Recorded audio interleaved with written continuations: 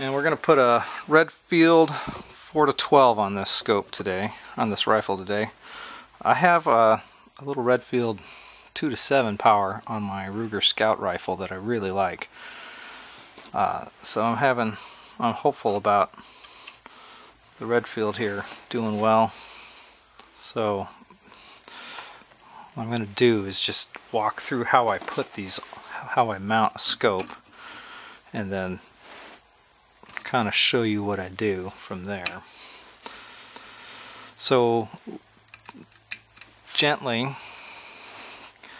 tighten down these these are uh, Torx head screws. The old the old mounts had flathead screws. That's fine too. Uh, the trick with the flathead is you get yourself a hollow ground screwdriver. Um, the carpenter screwdrivers uh, with a profile like that, those don't really work all that great.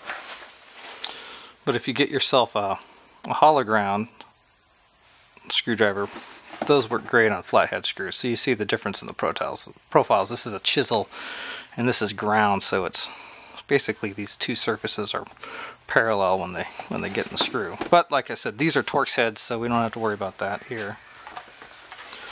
So what I'm going to do is just get the rings on, more or less so they're the gap on this side is about equal to the gap on the far side. It's nice and centered up. But I, I want I want the scope to be able to uh, see I've already tightened it down too much. Um, scope needs to be able to, to rotate a little bit. You want you want some well that sounds awful. You want it to rotate some, but not a lot. And then what I do is I take the rifle up and I set it to the minimum and then the maximum magnification and I, I work out the eye relief front to back. And I just take the rifle up pick it up and I put it on my shoulder. I like my head really far forward so um, emulating what it'd be like if I was shooting prone. So I want if you get the rifle scope way back that's fine if you're sitting upright at a bench but when you get on the ground and you're shooting prone then that doesn't work so good so I usually mount my scopes pretty far forward. We'll see what it looks like. Test that at the minimum and then the maximum. And then at that point, you have left to right or, or front to back fine. Then you go in and I just eyeball it. Um, trying to get the, the crosshairs level. Uh, I find that that works real well.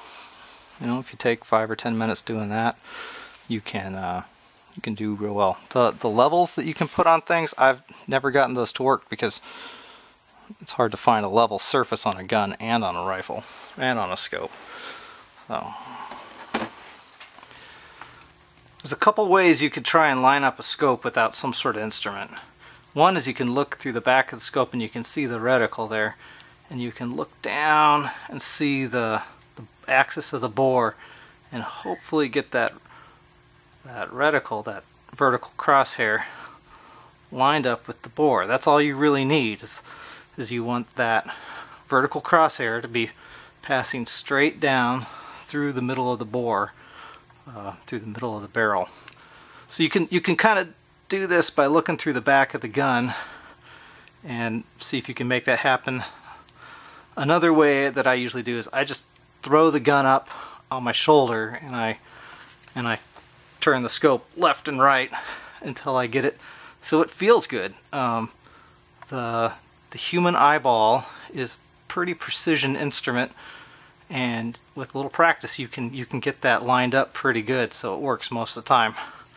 And if you decide it's off, you just go on and adjust it and do it again. Uh, there's gizmos out there that you put a, a, level, you know, put a level on the scope and you put a level on the on the action. And it's like, well, uh, I don't see a part of my scope that's level. Maybe if I took the, the cap off there, but um, just eyeballing it seems to work real well. I mean, we're shooting we're shooting a bullet at 300 yards. We're not trying to launch a rocket and hit the moon. Okay. So I picked the rifle up, put it on my shoulder. I moved the the zoom in and out. Um, and I moved the scope up and back until I found a spot where I liked it. uh, where I, and what I'm doing, I'm looking through the the lens here, and I'm looking at to see, I want to the, the circle of light that's coming out of the back of that lens, you want that to be optimized for your iris, um, moving this back and forth. Probably at the maximum, the maximum uh, magnification is the one that's the most delicate. So I got that thing lined up. Now what I'm going to do is go side to side and then we'll tighten down these rings. Okay, so next step is we're going to snug down all these screws.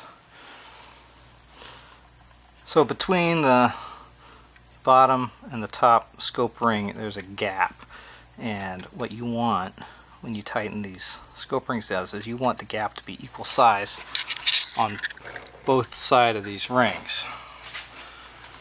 So what you do when you want when you do when you tighten these rings down is you you just tighten them down and you go diagonally across.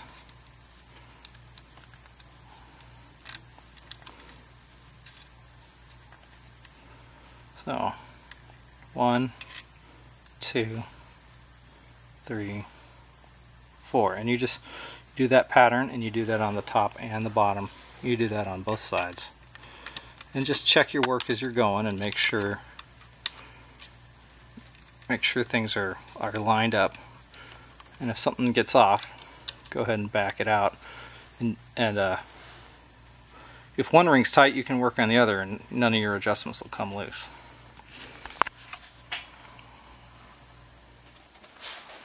So off camera I fiddled around to make sure that the gap between the bottom and the top rings on both sides was e even. You know, back out a little bit on one side and tighten down on the other to get it just right. And now uh, you can use these things if you want, but while back I went and bought a torque wrench and I've never looked back.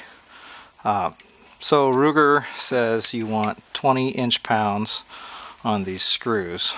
So what I do is I start low.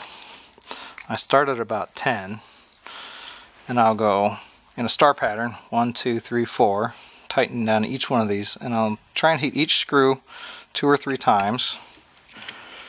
And so I barely had them snug down to begin with. You can see there's a lot of movement here.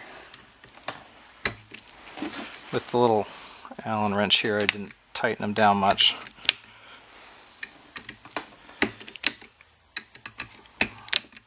so now now that's at 10 and what I'll do is I'll turn it up to 15 and I'll turn up to 20 and I'll just repeat that um, front and back until everything's tightened down. Uh, it's also good to pick up the rifle, double check the, the eye relief, moving the scope forward and back, check the eye relief and then check the, the cant for um, to make sure that the, the scope is still level. And that's it. So take and make sure tighten these uh, bases down with care because you want because there's there's a little bit of wiggle uh, and you want to get them both lined up just right. So when you lay your scope down uh, lays it lays on those rings evenly and then get your rings on just a little bit adjust the, the scope relief the eye relief uh, and then the cant to get it level and then tighten things down. Um, use a torque wrench if you got it and make sure the gap is the same on either side. So thanks for watching the video. I've got another video on my channel uh, that shows me mounting a lapping, lapping a set of Ruger rings on another gun. So I'll put a link to that here and if you want you can check that out. It's a little older video.